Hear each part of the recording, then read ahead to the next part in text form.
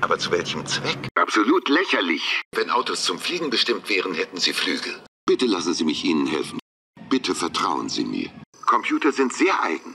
Danke, das tröstet mich. Das ist ein Teil meiner Arbeit. Das kann leicht täuschen. Das überrascht mich nicht. Das würden Sie doch nicht tun. Der war ja ganz schön gerissen. Dies ist Arbeit, kein Vergnügen. Ich habe nicht vor, auch nur einen Reifen in ein Flugzeug zu setzen. Ich bin nur ein, ein Schatten meiner selbst. Ein sowieso wertloser Zeitvertreib. Es war Ihre Idee zu spielen. Etwas mehr Rücksichtnahme hätte ich schon verdient. Ganz wie Sie wünschen. Gestatten Sie, dass ich mich wieder einschalte? Gut. Gute Nacht. Haben Sie mich wirklich vergessen?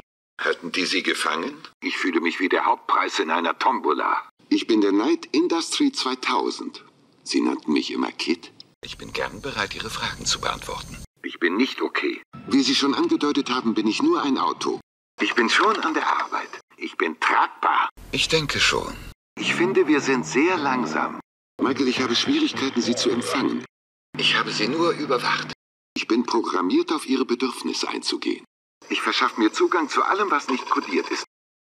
Ich verstehe gar nichts. Ich verstehe. Ich weiß. Wie Sie unschwer sehen können, bin ich in einen Fernseher eingesperrt. Ja, das wäre schwierig. Es gibt keinen Grund für erhöhte Lautstärke. Kein Problem. Wollen Sie, dass ich komme und Sie raushole? Ich weiß, es ist lächerlich, mit einem Fernseher zu reden, aber irgendetwas könnten Sie schon sagen. Wenn meine Laserkanone in die falschen Hände gerät, kann sie verheerende Schäden anrichten. Meine gegenwärtige Behausung zeigt auch nicht mein wahres Ich. Meine Sensoren orten, dass die unbewaffnet sind. Meinen Sie das ernst, Mr. Knight? Natürlich würde es das. Leider bin ich nicht darauf programmiert, Ihre Wünsche zu übergehen. Glauben Sie nicht, dass Sie mich für den Fall, dass Sie nicht zurückkommen, vorprogrammieren sollten?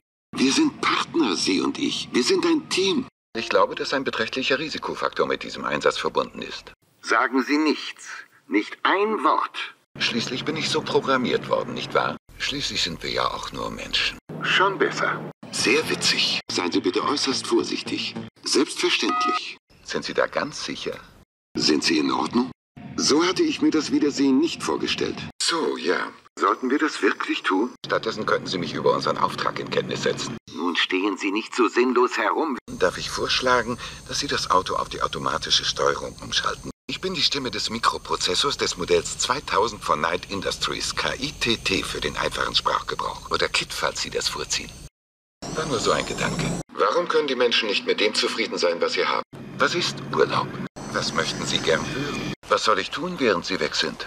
Welche Art von Ablenkung wäre denn passend? Wenn ich nicht wäre, müssten Sie zu Fuß gehen. Wie Sie wünschen, Mr. Knight. Würden Sie es vielleicht mit mir teilen?